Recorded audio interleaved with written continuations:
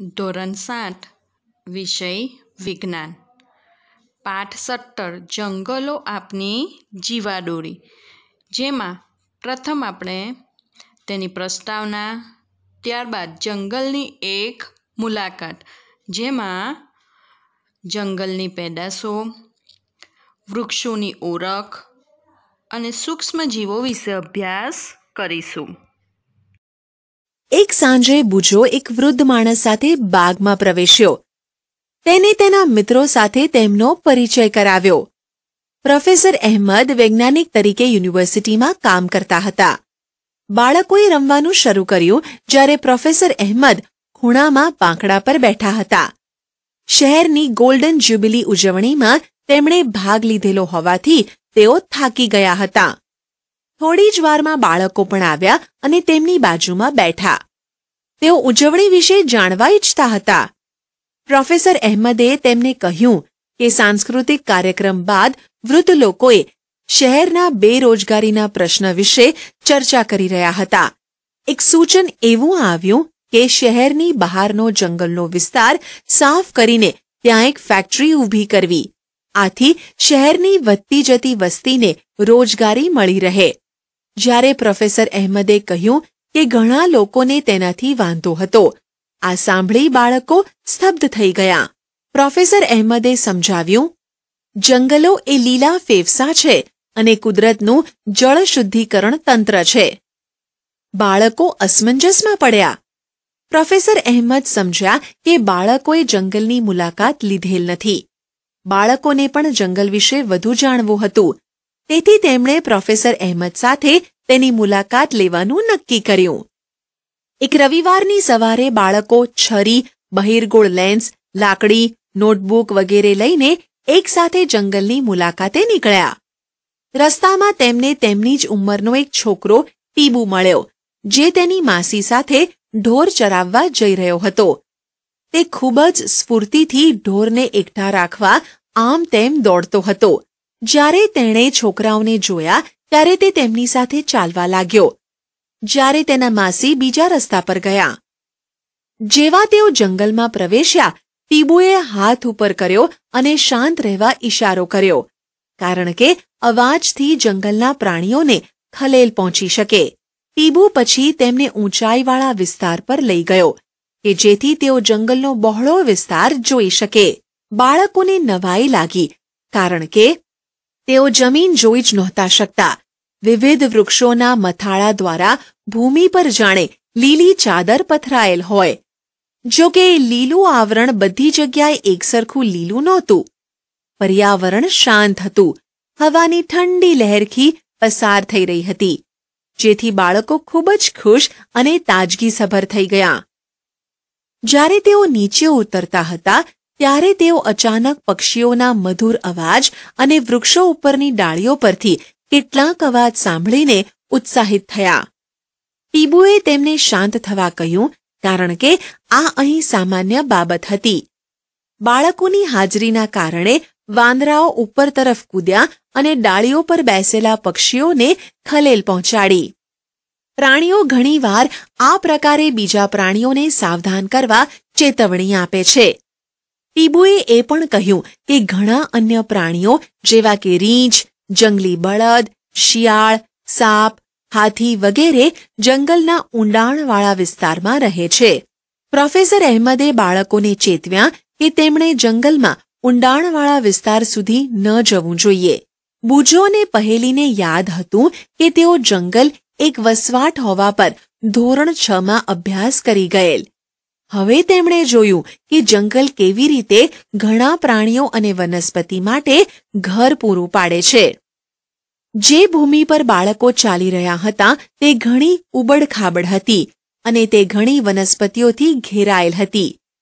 ટીબુએ સાલ, સાગ, સેમલ, સીસમ, લીમડો, ખાખરો, અંજીર, ખેર, આમળા, વાંસ, કાચનાર વગેરે ઓળખવામાં મદદ કરી.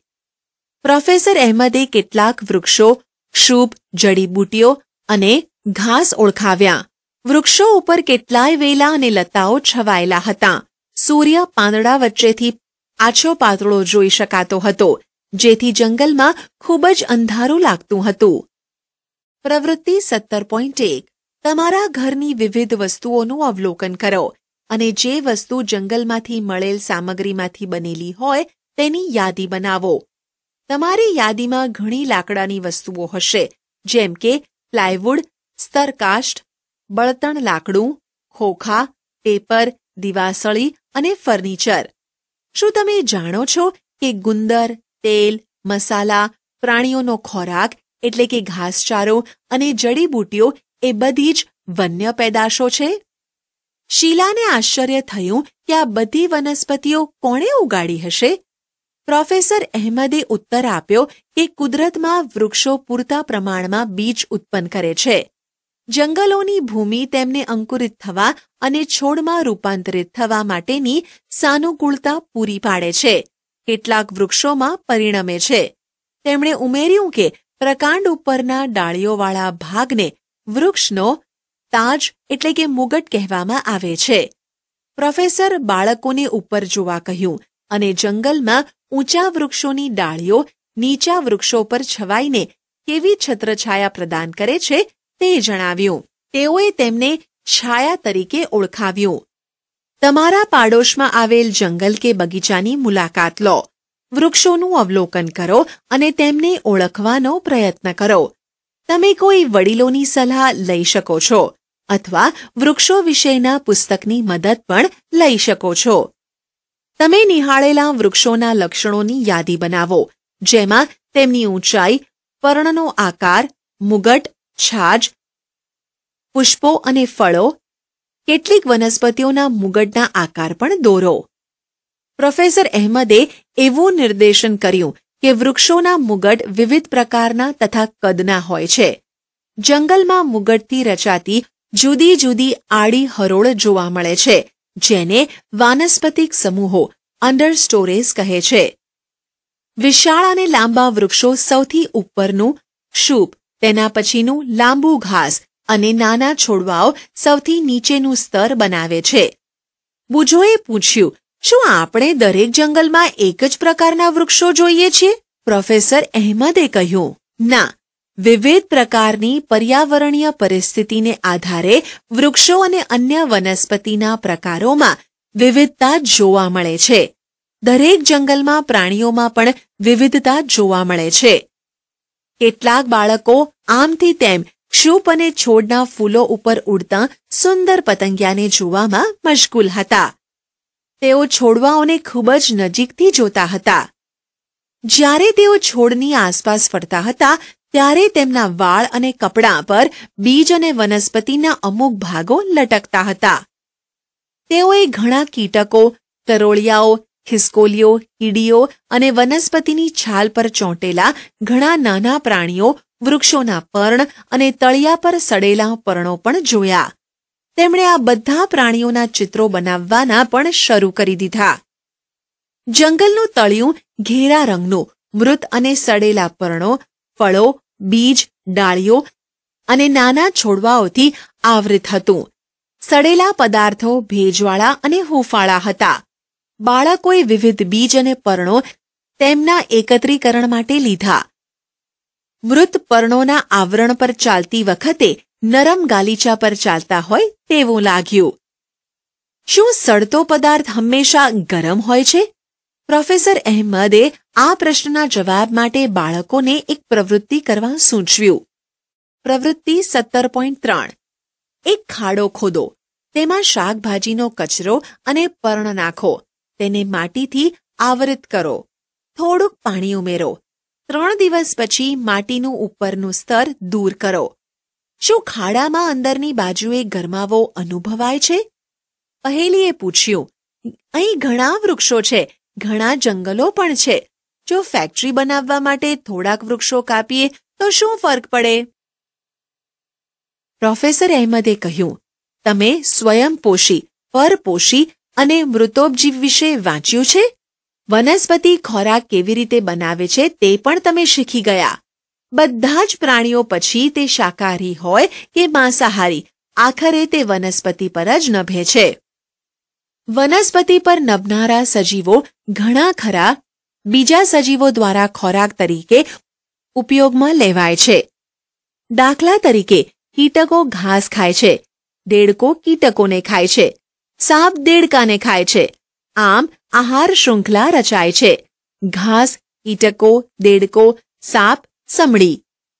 જંગલમાં ઘણી આહાર શૃંખલાઓ જોવા મળે છે.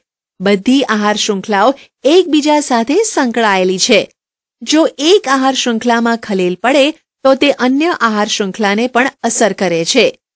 જંગલનો દરેક ભાગ અન્ય ભાગ પર આધારિત છે. જો આપણે એક હિસ્સો દૂર કરીએ, જેમ કે વૃક્ષો, તો બાકીના બધા જ હિસ્સાઓ પર અસર જોવા મળશે. પ્રોફેસર અહેમદે બાળકોને જમીન પરથી એક પર્ણ ઉઠાવીને બહિર્ગોળ કાચમાં નિહાળવા કહ્યું. તેમને તેમાં નાની ફૂગ, એટલે કે મશરૂમ જોવા મળી. તેઓને નાના જીવજંતુઓનું સૈન્ય જોવા મળ્યું, જેમ કે કીડીઓ, ઢાલિયા જીવડાઓ વગેરે.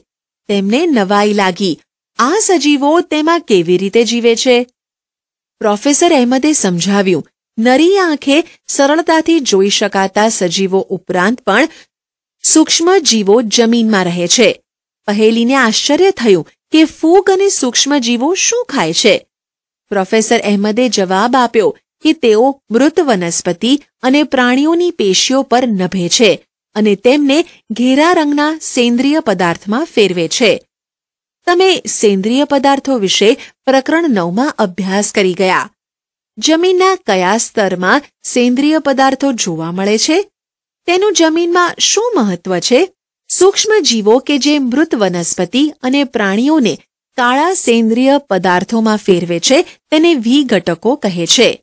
આ સૂક્ષ્મ જીવો જંગલમાં ખૂબ જ મહત્વનો ભાગ ભજવે છે.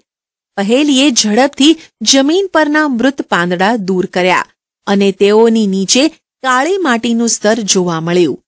સેન્દ્રિય પદાર્થોની હાજરી એ સૂચવે છે કે જમીનમાં મૃત વનસ્પતિ અને પ્રાણીઓના પોષક ઘટકો મુક્ત થયેલ છે. અહીંથી આ પોષક તત્વો ફરીથી વનસ્પતિ દ્વારા શોષાય છે. શૈલાએ પૂછ્યું, જો પ્રાણી જંગલમાં મૃત્યુ પામે તો શું થાય છે? ટીબુએ જવાબ આપ્યો, મૃત પ્રાણીઓ ગીધ, કાગડા, શિયાળ અને જીવજંતુઓનો ખોરાક બને છે. આ રીતે પોષક તત્વો ચક્રમાં ફરતા રહે છે. આથી જંગલોમાં કશું નકામું જતું નથી.